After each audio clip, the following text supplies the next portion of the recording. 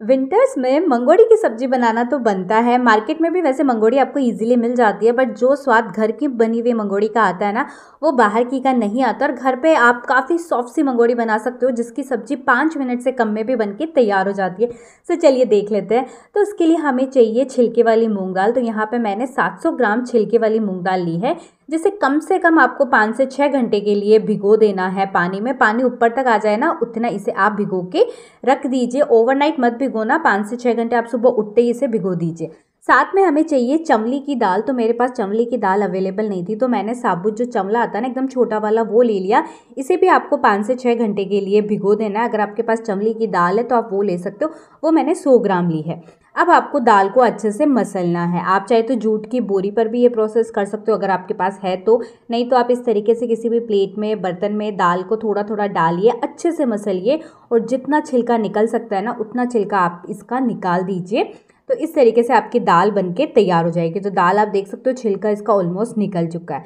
अब mixer jar में डाल के हमें इसे दरदरा पीसना है। एकदम फाइन नहीं पीसना है ना, आपको पीसते टाइम पानी डालना है। बिना पानी के अगर ज़रूरत लगे तो आप इसमें हल्का सा पानी डाल सकते हो। बहुत ज़्यादा पानी तो बिल्कुल भी नहीं डालना है और इसे हल्का दरदरा रखना है। एकदम स्मूथ नहीं बनाना। अगर आप स्मूथ बना दोगे तो फिर मंगोड़ी आपकी उतनी अच्छी नहीं बनेगी। दाल जब पिस जाए, उसके बाद आप चमले को भी पीस लीजिए। चमले को पीसते टाइम आपको थोड़ा सा पानी डालना पड़ेगा, क्योंकि ये मतलब बाइंड हो जाता है तो इसको पीसते टाइम आपको थोड़ा सा पानी डालना पड़ेगा और ये भी एकदम थिक पिस के तैयार हो गया इसको भी आपको हल्का दरदरा पीसना है। अब आती है मेन बात। आप दोनों को मिक्स कर दीजिए और पाँच से सात मिनट के लिए इसे एक ही डायरेक्शन में फेंटिए। आप चाहे तो हाथ से भी कर सकते हो या फिर आप चाहे तो इस तरीके से चम्मच से भी कर सकते हो। इस प्रोसेस से क्या होता है ना, इसमें एयर बनती है, जिससे आपकी मंगोड़ियाँ बहुत सॉफ्ट बनती है। अब मैंने इसमें वन फोर्थ कप बारीक कटा हरा धनिया डाल दिया है, तीन चम्मच नमक या टेस्ट के अकॉर्डिंग नमक, और तीन चम्मच मैंने कश्मीरी लाल मिर्ची पाउडर लिए जो बहुत ज़्यादा तीखी नहीं होती बट इसका कलर अच्छा आता है। आप तीखा और नमक अपने टेस्ट के अकॉर्डिंग कम ज़्यादा कर सकते हो। एक चम्मच सॉफ्ट डालिए और वन फोर्थ चम्मच हींग डाल दिया। अगर हींग ज़्यादा स्ट्रॉन्ग है तो आपको कम डालना है। अच्छे से मिक्स हो जाए, उसके बाद आप चाहे तो हाथ से मंगोड़ियाँ निकाल सकते हो। हमारे इधर से चूटना बोलते हैं।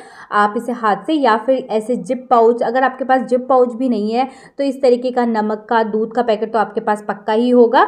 उसे बस ऊपर से आप इसे रबड़ से सील कर दीजिए और अब आपको कैसे करना है? आप प्लास्टिक शीट ले लीजिए और उस पर इस तरीके से आगे से जितना मोटा आपको मंगोड़ी बनानी है ना, उतना कट कर लीजिए और आपको इस तरीके से इसकी मंगोड़ियाँ बना लेनी है। थैली से जब आप बनाते हो ना तो काफ़ी ईजी हो जाता है बनाना और प्लस आपके हाथ भी गंदे नहीं होते हैं। और इस वाली दाल की आप पकौड़ियाँ बनाओगे ना, वो भी बहुत टेस्टी बनती है। तो अगर आप इस तरीके से बना रहे हो तो ठीक है, अगर आप हाथ से बनाना चाहते हो तो इस तरीके से थोड़ा थोड़ा बैटर हाथ में लीजिए और बनाते जाइए। अभी मैं छत पे शूट कर रही हूँ, इसलिए लाइटिंग का थोड़ा सा इशू है। नहीं तो आप इस तरीके की स्टील की प्लेट तो सबके घर में होती है, उसे हल्का सा ग्रीस कर लीजिए और उस पर मंगोड़िया बना के से दो तीन दिन की धूप दिखा दीजिए। अच्छी वाली धूप दिखा दीजिए सुबह वाली धूप भी आपको ज़रूर से दिखानी है। और तीन दिन बाद आपकी मंगोड़िया बनके तैयार हो जाएगी। साल भर आप इस मंगोड़ियों को इन्जॉय कर सकते हो। तो आप ये रेसिपी ट्राई ज़रूर करना और मुझे कमेंट करके बताना कि आपने ट्राई करी और आपको कैसी लगी और आप मुझे इंस्टाग्राम और यूट्यूब पर भी फॉलो कर सकते हो। Bye bye